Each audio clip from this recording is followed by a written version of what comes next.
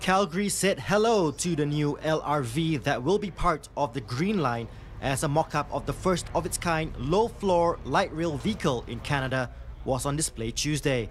Called the Urbos 100, low-floor LRV technology has been the standard in Europe, Asia, Australia and New Zealand for decades.